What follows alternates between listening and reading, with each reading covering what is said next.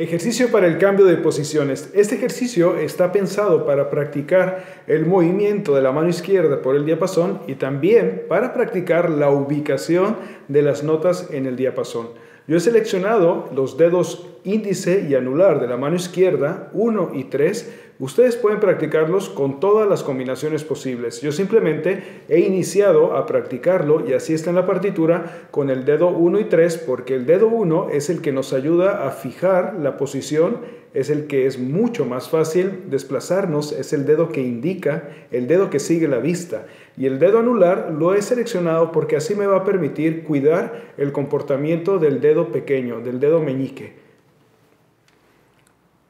Estoy en el compás número 1 y la primera práctica será solamente con la mano izquierda. La mano derecha no va a participar por ahora y esto me va a permitir ubicar el cambio de posición. Estoy entre la primera y la quinta posición. Otro punto muy importante, y les pido por favor que lean lo que les he dejado escrito para cada uno de los ejercicios, es separar el pulgar izquierdo cada que vamos a hacer el desplazamiento. Si lo estamos moviendo, si estamos desplazando con el dedo, presionando la madera, el cuello de la guitarra todo el tiempo, esto se va a convertir en un punto de mucha tensión y una posible fatiga de la mano izquierda cuando tocamos nuestro repertorio. Así que esto servirá para un buen hábito. Una vez que ya lo hicimos, solamente la mano izquierda, vamos a tocar el compás número uno cambiando con la cuerda al aire.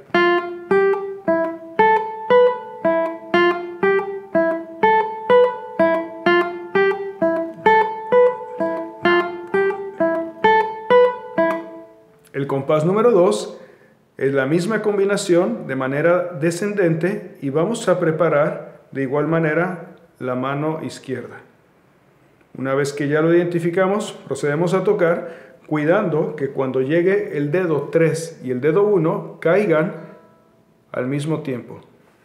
Que no llegue primero el 3 y luego el 1, sino en un mismo movimiento vamos a colocar los dos dedos. Esto en la mano izquierda se llama preparación.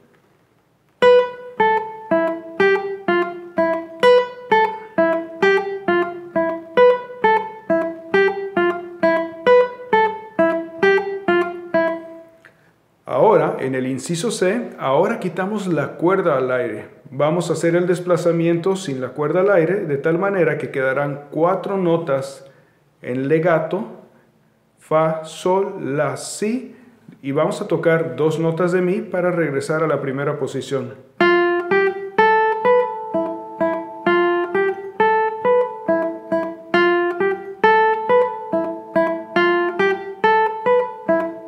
Cuando tengo este tipo de desplazamiento sin la cuerda de aire, puedo recorrer el dedo 1 que va tocando la cuerda sin presionar, solamente por encima, y esto me permite una guía. Vamos al inciso D, es el mismo ejercicio de manera descendente y vamos a tocar las notas de si, la, sol, fa, mi, mi,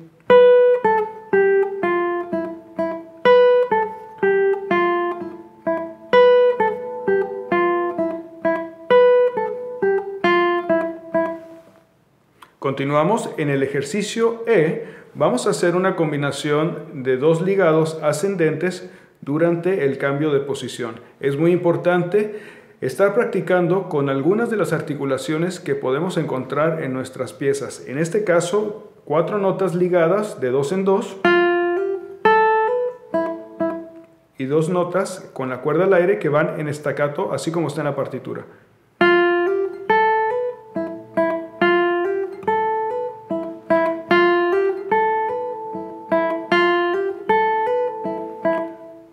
Inciso F.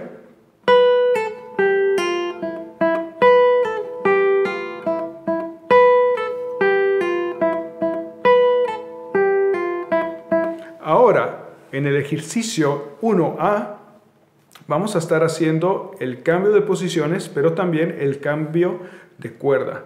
Habíamos practicado las notas Fa, Sol, Mi, La, Si, Mi. Pero ahora las notas de La, Si y Mi las vamos a encontrar en la segunda cuerda en la posición número 10. Primer ejercicio con la cuerda al aire para cambiar de posición de manera ascendente.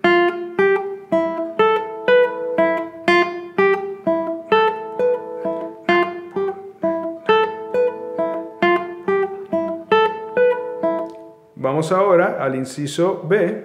Estoy tocando las notas de Si, La en la segunda cuerda, traste 12, 10, el Mi al aire de la primera cuerda y cambio hacia la primera posición.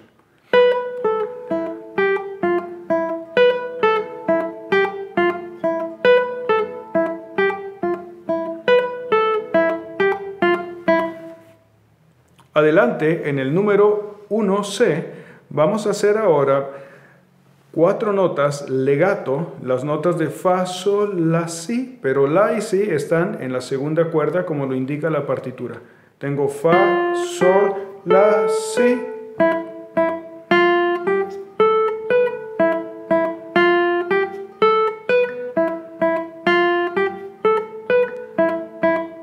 Ahora, en el número 2A, tenemos una variante. Vamos a hacer primero, antes de pasar a esto, la manera descendente de lo que hemos hecho anteriormente, que es Si, La, Sol, Fa.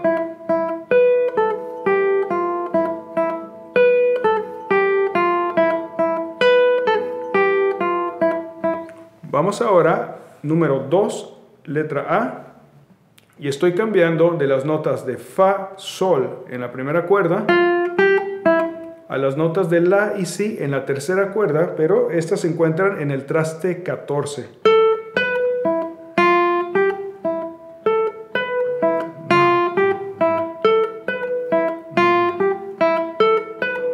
De igual manera, descendente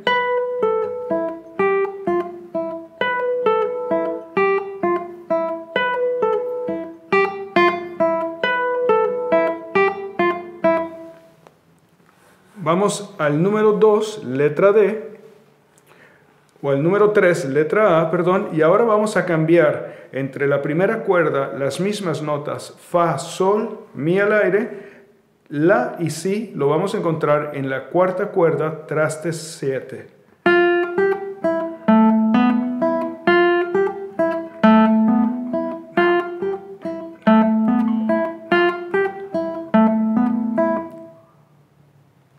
Número 3, letra B, es el mismo ejercicio entre la cuarta y la primera de manera descendente.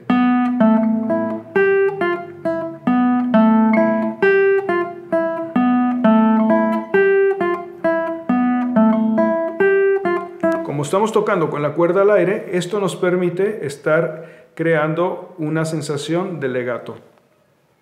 Ahora, para hacer una variante entre la primera y la quinta cuerda, son las mismas notas. Fa, Sol, La, Si. El La lo vamos a encontrar en la quinta cuerda, traste 12, y el Si en la misma quinta cuerda, traste 14.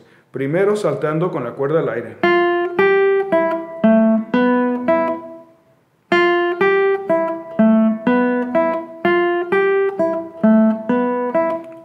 De manera descendente.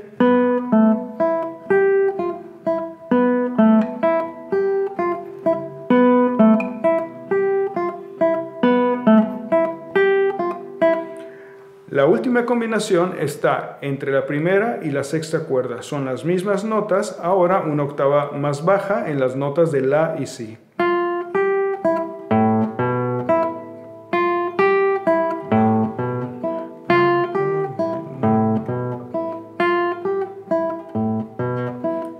Descendente.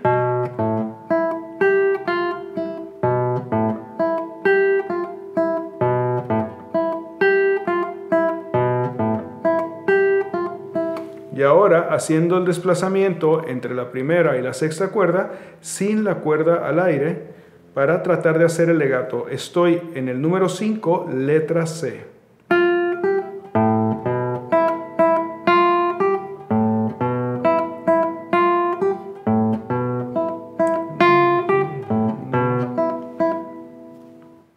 Este ejercicio es muy bueno si lo practicas frente a un espejo. Eso te va a permitir liberarte de estar observando el diapasón todo el tiempo y con ello vas a facilitar también la lectura del pentagrama, la lectura de partituras, porque no va a ser necesario que estés viendo la mano izquierda.